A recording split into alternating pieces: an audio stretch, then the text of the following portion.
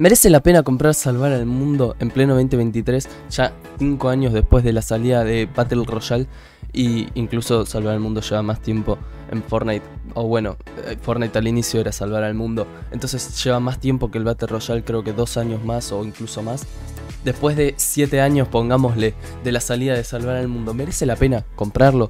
¿Merece la pena? No te lo vas a poder creer, pero Exit Lag por el equivalente a 80 centavos de dólar en tu moneda local te ofrece acceso completo a su programa para reducción del ping, el cual es muy intuitivo para usar y solamente con estar ejecutándose en segundo plano logra reducirte el ping de 70 a 30 en segundo. En la página que te estoy dejando el enlace en la descripción explica absolutamente todo muy detallado. Y se me olvidaba, tiene una prueba gratuita de 3 días. Te recomiendo mucho ir a darle una oportunidad. ¿Pena poner la platita en Fortnite? Y te voy a responder esa pregunta y unas pares más de si sigue dando pagos, de si, bueno, es útil para alcanzar a las otras personas, onda, si lo compras ahora lo podrías alcanzar a alguien que haya avanzado muchísimo en salvar al mundo y cosas semejantes.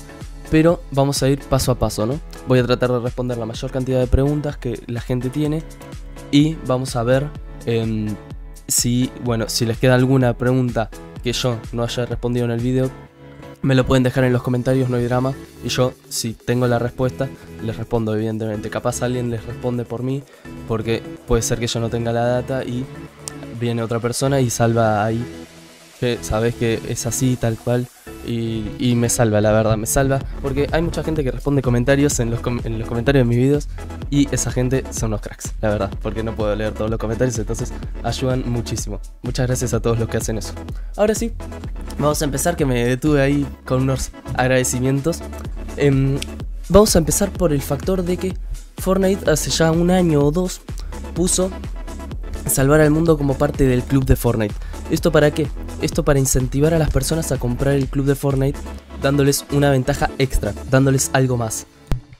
Y dándoles capaz salvar al mundo que no se compraba tanto individualmente, puesto que ya como que estaba medio muerto, salvar el mundo por así decirlo, y de hecho sigue muerto, siendo sinceros, esa es otra pregunta, ¿salvar el mundo está muerto? Está muerto, la verdad, bastante. Em, pero bueno, lo incluyeron en el club de Fortnite para tratar de ver si lo podían revivir un poco o al menos eh, como sacarle un poco más de, ventaja o de beneficio al salvar el mundo.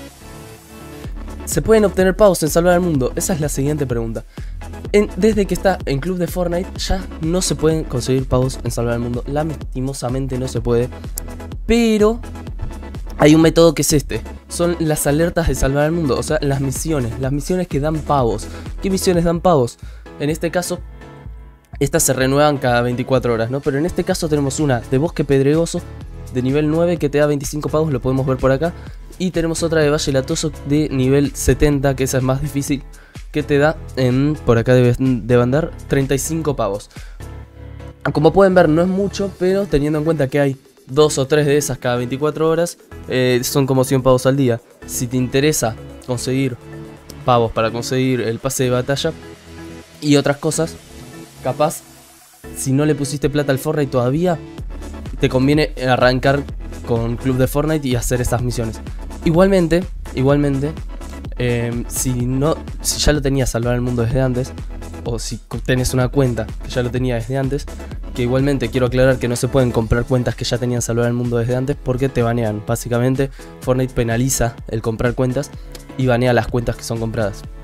Pero, como pueden ver, están estas misiones diarias también que si ya tenías salvar el mundo el pack de fundadores, te pueden dar pavitos. Ahora, vamos a la siguiente pregunta. Tema de experiencia. El tema de la experiencia es eh, para... No sé por qué me fui a salvar el mundo. Tema de experiencia.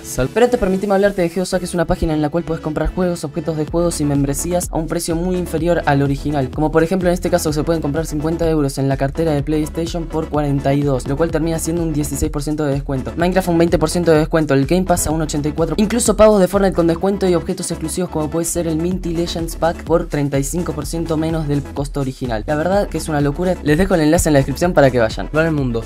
Sale rentable si vos querés comprarlo para subir el nivel del pase de batalla por X motivo, que no tendría mucho sentido que lo quieras comprar para esto, pero pongámosle que queremos eh, comprar Salvar el Mundo para eso. Nos sale rentable y mira, una misión diaria te da 21.000 de experiencia, lo cual es bastante. Por acá hay otras misiones que 7k, ponele, Em, y bueno, hay varias que te dan experiencia, 8, 5, cada 7. ahí están sus misiones, viste, por ahí. Esto es todo billetes lunares. Em, hay misiones que te dan experiencia. Y hay otras misiones que, bueno, son las generales, ¿no? Las que sí o sí haces. Em, que todas te dan experiencia. Todas te la dan. Dependiendo del nivel de la misión, te da más experiencia. Creo que una misión de, de alto nivel, tipo arriba de 100, pongámosle una misión de esta de 124, te puede llegar a dar 100k eh, de experiencia, fácil. Pero es, cierto que tenés que estar muy atento a la misión. Y ahora que casi nadie juega salvar al mundo, eh, quedas más complicado para el tema de las partidas. Porque es muy improbable que te encuentre equipo a no ser que sea una misión de pagos. En la misión de pagos siempre te encuentra equipo.